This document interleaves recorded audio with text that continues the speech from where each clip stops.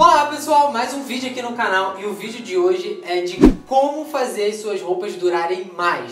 Eu vou dar aqui 5 dicas para você fazer a sua roupa, né? A gente gasta aquele dinheiro, né? Às vezes a gente junta, faz uma economia para comprar uma roupa que a gente quer e depois que a gente tem a roupa, né? A gente tem que cuidar para ela durar mais tempo. Então fica ligado que eu vou dar 5 dicas aqui infalíveis que sua roupa vai durar bastante tempo. Então, se você curte conteúdo de moda masculina, você está no lugar certo. Se inscreve aqui no canal agora, que é de graça e não paga nada. É só você clicar nesse botão vermelho aqui embaixo. Primeira dica é o seguinte, cara, para as suas roupas durarem mais tempo, você não pode lavar sempre que você usa. Porque quanto mais você lava, mais desgasta aquela coisa da água, do sabão, do sol. Aquilo vai desgastando a sua roupa e aí a sua roupa, né, acaba com mais rapidez. Então, a primeira dica é evitar lavar a roupa toda vez que usa.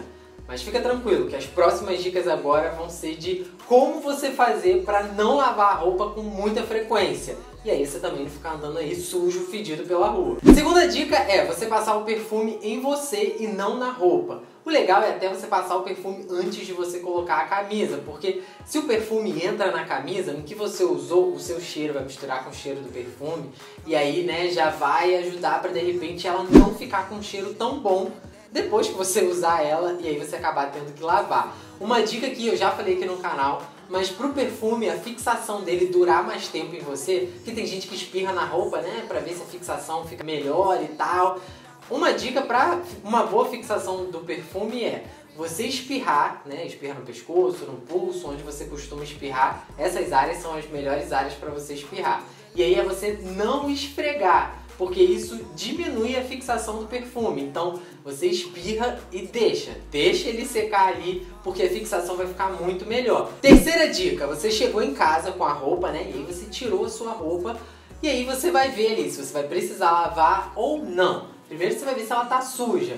Vai ver se, né, se sujou de algum molho, alguma coisa que você comeu, ou se ela tá com, né, com cheiro ruim. Se ela não tiver suja e não tiver com cheiro ruim, o que, que você faz? Você não coloca ela direto no guarda-roupa. Você tem que deixar a sua roupa respirar. O que, que é deixar a sua roupa respirar? Eu sou uma pessoa que eu não era a favor de cabides, esse tipo de coisa, até entender o motivo de você deixar uma roupa no cabide né, para não lavar ou antes de guardar. Então, você deixando lá a roupa, ou se você não tem cabide, sei lá, se tem uma cadeira no seu quarto, enfim, você tem algum lugar no seu quarto que você deixa a sua roupa respirar, sei lá, ou respirar de um dia para o outro, ou você deixar pelo menos umas 3, 4 horas ali a roupa respirando antes de você colocá-la no guarda-roupa. E aí, gente, isso vale também para sapato. Não existe essa parada de você tirar o sapato e já guardar na sapateira. Não, você tem que deixar ali porque a gente acaba suando, mas né, o suando que eu tô falando aqui não é o suando do, do suor fedido. Mas, né, o nosso corpo é feito de líquido. Então, conforme a gente, né, vai no dia a dia, a gente vai soltando, né, a roupa fica úmida. O sapato também, a gente sua, então fica úmido. A gente tem que deixar esse suor evaporar antes de guardar. Porque é isso que faz, às vezes, a roupa ficar com mau cheiro, com cheiro... Ah, um cheiro desagradável. Então, isso vale tanto para roupa quanto para o sapato. E uma coisa que precisa ficar bem clara aqui é o seguinte, calça jeans não se lava com muita frequência, cara. A calça jeans você só vai lavar ela se ela tiver muito suja, se ela estiver suja de verdade, porque calça jeans é uma coisa que não suja com muita facilidade. Então, se toda vez que você usar, você colocar para lavar, cara, o seu jeans vai acabar muito rápido. Então, você tem que avaliar direitinho se sujou, de repente o que sujou dá pra você lavar ali pontual, né? Tipo, ah, sujou, sei lá, só aqui do lado que caiu um molho, alguma comida ali, alguma gordura de alguma coisa que caiu. E aí você lavar só aquele pedacinho ali, não botar o jeans inteiro para lavar. Porque a calça jeans, para ser um jeans interessante, um corte legal, acaba que, né, às vezes o preço é meio salgadinho. E aí é interessante você ter esse cuidado aí depois que você já pagou, para você ficar com aquele jeans ali mais tempo. Quarta dica. Galera, não são todas as roupas que a gente pode guardar em cabide no guarda-roupa. Existem algumas roupas que o tecido ele deforma. Então, se você guardar essas roupas no cabide, ele vai deformar. E aí, quando você for usar, a roupa já vai estar, tá, sabe, não vai estar tá um caimento legal, vai estar tá toda troncha, esquisita, porque o tecido deformou. Tipo, você botou no cabide, ficou pendurada, aí, sabe, você tira, fica aquela coisa armada aqui e as beiradas, sabe, aquela coisa pontuda. porque a roupa deformou. Então, assim, existem algumas roupas que você tem que guardar dobrado, né? Não, não tem como você botar no cabide. E aí você pode dizer aí, ok, Thiago, entendi. Mas como que eu vou saber qual tecido deforma e qual não deforma? Muito mole. É o seguinte, você vai pegar a sua roupa e você vai ver, se ela tiver uma elasticidade, ó, tipo essa blusa, tá vendo? Ela tem uma elasticidade, tipo uma sanfoninha, sabe? Você faz assim e a roupa vem. Então, esse tipo de malha, esse tipo de tecido, essa daqui é uma, eu não posso guardar em cabide. Porque se eu guardar em cabide, ela vai deformar. Então, é mole. Você pega a roupa, dá uma esticadinha. Se a roupa né, teve elasticidade ali, não dá pra você guardar em cabide. Aí você tem que guardar dobrado. E aí você pode vir com uma segunda pergunta. Tiago, não tenho muito espaço no meu guarda-roupa com gaveta, com nicho. O maior espaço que eu tenho é em cabide. Como é que eu vou fazer para guardar essas roupas né, em gaveta e se eu não tenho tanto espaço assim?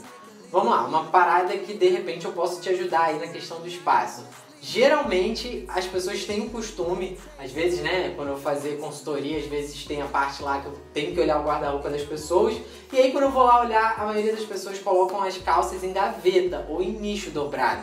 Calça jeans é um tecido que não deforma com muita facilidade, mesmo que seja de stretch, porque ele é um tecido grosso. Então é um tipo de peça que você pode guardar no cabide, você dobra ela no cabide e você bota ela, e aí você já vai liberar um espaço aí na sua gaveta para poder colocar as camisas, né, que de repente você precisa colocar ali para não esgarçar e não ficar toda troncha depois, não deformar. Alguns de vocês já me pediram um vídeo aqui de dando dicas de como arrumar o guarda-roupa, mas se, né, além dessas dicas que eu dei aqui, vocês quiserem mais algumas dicas, de repente de como conseguir mais espaço no guarda-roupa, ou como você guardar as suas roupas de uma forma que elas vão durar mais tempo, ou até mesmo na questão de você ter o guarda-roupa arrumado e você vai conseguir se arrumar mais fácil, mais rápido no caso. Porque às vezes o guarda-roupa não tá arrumado de uma maneira legal e aí na hora que você vai pegar a roupa para sair, você não consegue entender o que você tem, o que você não tem. Enfim, se vocês quiserem esse tipo de dica aí de como arrumar o guarda-roupa, deixe aqui nos comentários que eu posso fazer um vídeo assim também.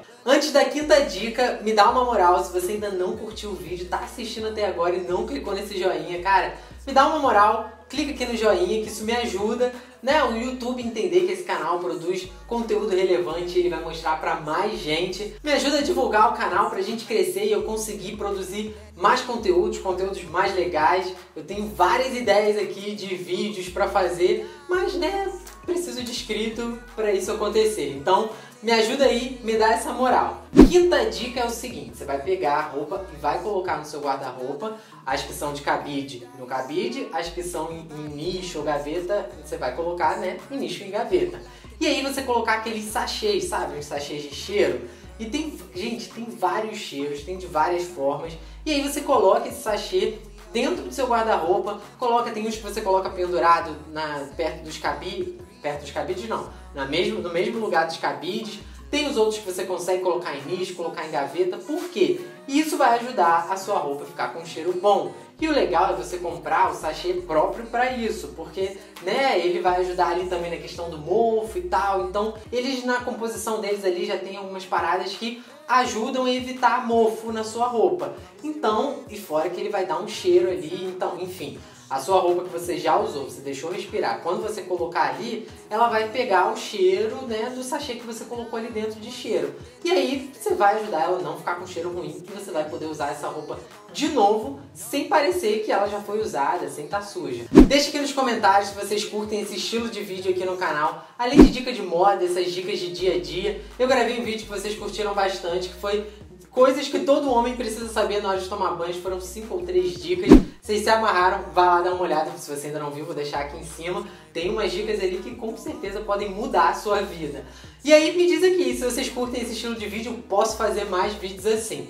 Beleza? A gente se vê aqui no próximo vídeo ou lá no Instagram. Tchau!